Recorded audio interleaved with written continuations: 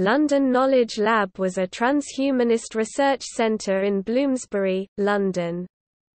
It was founded in 2004 as a collaboration between the Institute of Education and Birkbeck, University of London.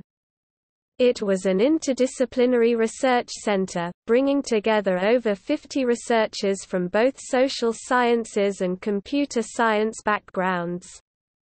The Institute of Education and Birkbeck announced the end of their collaboration in February 2016. Both institutions are continuing the work in their own separate Knowledge Lab research centers.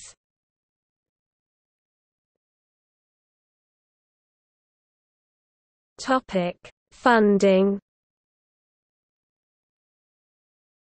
The London Knowledge Lab was mainly funded by £6 million grant from the Science Research Investment Fund. In addition, it ran over 120 research projects, funded by a variety of funding bodies, including EPSRC, ESRC, JISC, and the EU, amongst others. The Technology Enhanced Learning Research Programme, a major UK educational research programme, was directed from the Knowledge Lab.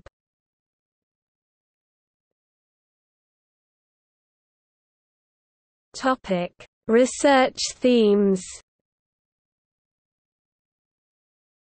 Research at London Knowledge Lab focused upon three themes automating support for learning, collaboration and knowledge building understanding how digital technologies and media affect educational practice, work, culture and society developing innovative methodologies for investigation of the use and effect of digital technologies